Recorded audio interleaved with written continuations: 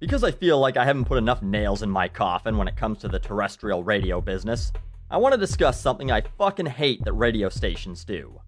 Their constant posting of memes, funny pictures, links to shit on BuzzFeed or other similarly lame websites, and basically anything that has absolutely nothing to do with their radio station or the people on it.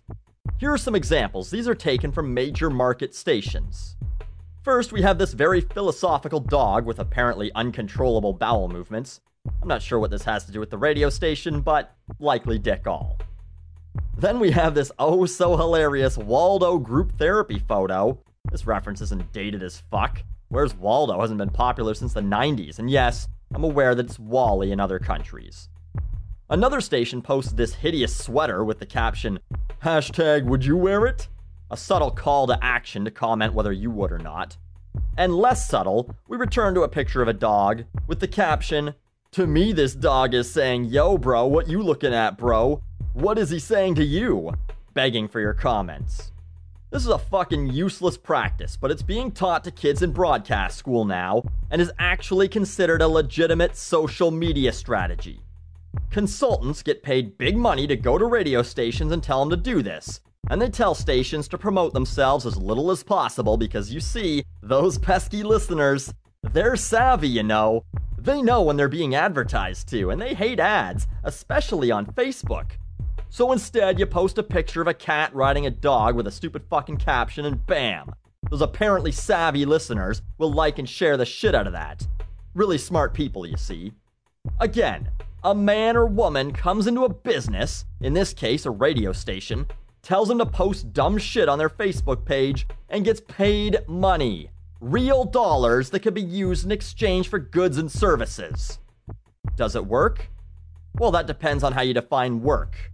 Does it get more likes and shares than if a radio station posted something like, Coming up in the next 10 minutes, I'm going to tell you about the new side project from Jack White, or be listening at 3:15 for your chance to qualify to win tickets to such and such an event. Or a SoundCloud link to some of their best bits from the morning show, Absolutely, no question. But what person has ever said, I listen to 93.9 The Eel because they post the funniest memes? Nobody. Those stupid pictures and links aren't driving anyone to listen to your station.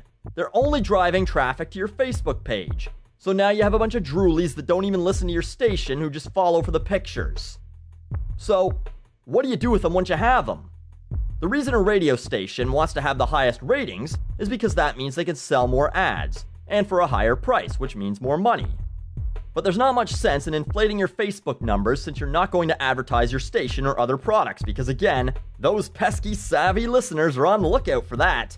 So instead, you're left with a collection of morons that you're just posting links and pictures to for no fucking reason. It certainly doesn't translate into better ratings. The station in my city with the most Facebook likes was fourth in the ratings during the last period, and the number one station in the city has over 10,000 fewer likes. But radio stations put so much effort into their social media strategy because they think they have to. Facebook exists, and a lot of people use it, so we should do something with it, is essentially the mindset. But then they don't know what to fucking do with the following once they've got it. You'll notice if you follow me on Facebook that I don't do this shit. I post links to my own videos and teasers to upcoming stuff. And sometimes I'll post ads for shit I want you to buy, because I want you to buy it.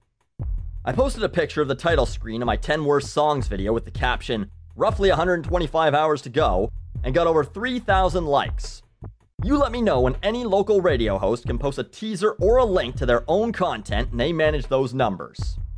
Sure, I could post a shitload of stupid pictures and memes, and I bet I could get a fuckload of extra likes and shares and more people following my page. But those people aren't liking my page for me. They'd be liking it for the stupid pictures, and that's exactly what's happening with these radio stations. These Facebook fans don't give a fuck about the station. And apparently, the station doesn't give a shit either. Radio stations don't promote their hosts, they don't want you to care about them. They want you to like a bunch of stupid shit they found on the internet for you because apparently you don't have access to Google. So have some balls and promote yourself. Post clips of your best bits. If people aren't liking your radio station on Facebook for the content you provide on air, what's the point anyway? Whatever. These people aren't gonna listen to me. What the fuck do I know, right? So keep posting the shit you post. You'll have 10, 20, 30, 40,000 likes on Facebook, maybe more, and maybe 10% of them are listening to your radio station at any given time, and anywhere between 10 to 50% of them have no idea that you're even a radio station. They just think you're another Facebook page that posts funny shit. Good job. Your strategy worked. Raises for everyone. Oh, wait. It's radio.